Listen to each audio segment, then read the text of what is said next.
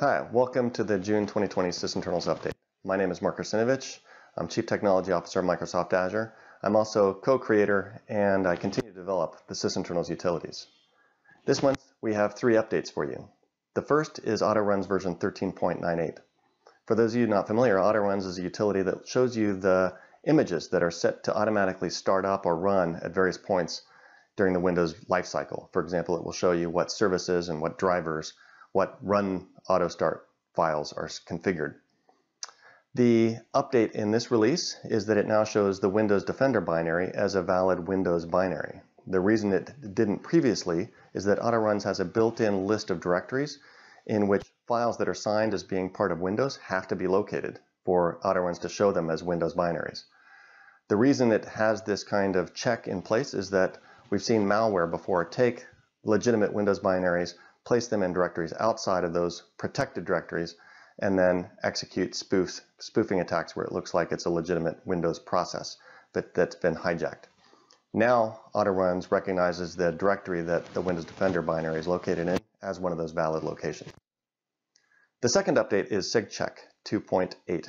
In this release of SigCheck, a tool that shows you file version information and file signing information, as well as what certificates are in your various certificate stores, now shows you a signing chain even when a certificate in that signing chain is considered untrusted. For example, it's been revoked or it's out of date.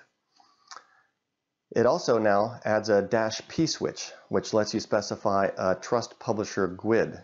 That trust publisher GUID that defaults internally is the Windows Trust Publisher. So by default, it will show you whether a file is validly signed against that trust publisher. But we've had requests from ISVs as well as Windows developers themselves that are checking files against different trust publishers. And now this dash P switch lets you specify those.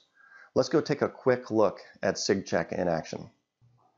So let's see what the previous version of SigCheck, version 2.73, would show for a valid signed file. And I'm going to use notepad.exe as that example. And you can see that the verified status is signed, then we see the file version information. But if I specify the dash I switch, I'm going to see the full certificate signing chain, which includes the timestamp countersigners on top of the Windows certificates used to sign this file. If I point it though at a file that it has an invalid trust chain, like this toolcheck DLL, you can see that I get in the verified status that a certificate chain processed but terminated in a root certificate which is not trusted by the trust provider. If I specify dash I because I want to look at the certificate chain and see which certificates might not be trusted. Unfortunately, it has no effect. And so that's where this update now will show you the full signing chain, even if there's an invalid certificate in the chain. And you, now you can see that there's a couple here that have untrusted roots. So that's a quick look at SigCheck. The dash P switch, which I mentioned, that lets you specify the trust GUID. You can see that flag here, which lets you specify a default trust policy. Uh, a custom trust policy, you can see that the built-in one that it verifies against is here, this WinTrust Action Generic Verify v2, which is the trust publisher for Windows signed binaries. So that's a, a quick look at the SigCheck updates. The last update is Sysmon version 11.10, which is the big one. The last release of Sysmon, version 11.0, introduced file delete archiving, so you could capture files as attackers were trying to delete them off your system for forensics. That release introduced a couple of regressions. One in the file filtering logic that caused slow file opens off SMB shares, especially for Office documents that we got several reports of. The second is that in the process of adding the ability to detect process creates for WSL processes, Uh, Sysmon version 11 stopped reporting process creates on earlier versions of Windows 10. Those regressions have now been addressed in 11.10. As far as new features in 11.10, one of them is that a new is all condition filter has been added so that you can specify multiple condition, conditions and require all of them be satisfied before an event is triggered. The second feature, which is the significant one, is that it will now capture alternate data stream contents when the contents are text and they're less than one kilobyte in size. might be saying, what's the point of capturing contents of file streams right into the event log?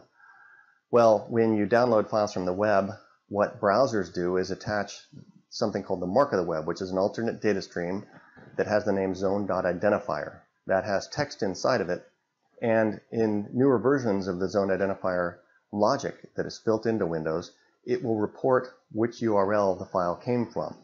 So by storing that right in Sysmon, as long as also getting the hashes of those alternate data streams and the hashes of the primary contents of the files being downloaded, now you can see exactly which website the file came from. And that can be helpful in forensics when, for example, you're getting drive-by downloads of malicious files. Let's go take a look at Sysmon in action. So here I have a sample Sysmon configuration file. You can see that for all event types, with one exception file create stream hash, I've got this filter which is onMatch include with no filter conditions. What that is effectively doing is making all of these exclude filters because no include filters match on any event, so we'll exclude all of those events. The exception here is the inverse, with onMatch exclude with no exclude filters, meaning if we're not going to exclude anything, then by default we're going to include anything. So we're going to see all of the events that match file create stream hash in the event log.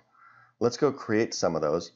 And I'm going to just echo hello to a file to create a default data stream. That's the main data stream for any file, and file create stream hash will capture the hashes for those when we've got it enabled and there's a match. But now in this release of Sysmon, if it's less than one kilobyte in size and text, it will also capture the alternate data stream contents or the data stream contents. And if we dump to an alternate data stream the same text, we should see the same hashes for both of those. So let's go take a look in Event Viewer and do a refresh here. And sure enough, there's those two events. Here's the first one, and you can see that the target file name is the out.txt and here's the hashes for the data that I dumped into the default data stream and here's the contents as we'd expect, hello. And then if we go look at the next event up, this is for the second echo into the stream alternate data stream here. And you can see that the hashes and the contents were captured for this as well. But where this becomes really interesting is for file downloads, where, like I mentioned, the mark of the web or the zone identifier alternate streams will capture where the file came from. I'm going to show you that in action, but first I'm going to enable Procmon so we can see what the browser is doing underneath the hood as I go to sysinternals and I download Sysmon itself. So if I say save, running a security scan, now I've got that file downloaded. And when we go to Procmon, we're going to see a bunch of events here those events are create files and write files, and you can see here that this write file, for example, we see that there's three of them. One that's at offset 0, length 26, one offset 26, length 76, and one at offset 102, length 60, all to this partial zone dot identifier alternate data stream. And what it's doing there is actually writing and appending information about that mark of the web.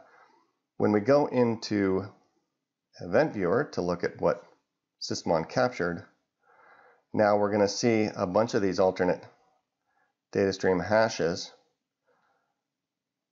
And here's the first one.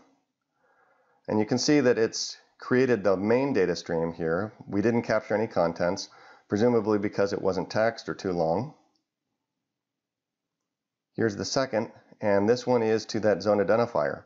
You can see the hash here and you can see the contents here. So this is that first write, zone transfer, zone ID equals 3, which is untrusted web. Here's the next one to the main data stream. Here's the third write as it's downloading and appending. And you can see here it appended now the refer URL. And this is going to be interesting for forensics. HTTP docs, Microsoft, sysinternals download sysmon. So now we can see if downloads are coming from the web and it's potentially malicious, exactly where they came from. And then finally, the last one here completes the mark of the web and tells us the exact URL where that download came from. So we see the refer and the host URL for that download. And if we go take a look at Procmon, we're going to see that the fact is that any browser you use is going to capture that information. And that's because when we look at the stack trace for that particular event, a mar writing mark of the web, it's generated by a file called URLmon, which all the browsers, mainstream browsers, use. Uh, they use this COM class that invokes it to download files and will automatically get that mark of the web information installed on top of them. So that's a quick look at the Sysmon mark of the web file capture. So those are this month's updates, AutoRuns, SigCheck, and Sysmon. As always, feel free to provide feedback on these features or make suggestions for new ones in these tools or any other tool in the sysinternals forums. Follow sysinternals on Twitter with the sysinternals handle. Follow me on Twitter at Mark Russinovich, and I'll see you next time. Thanks.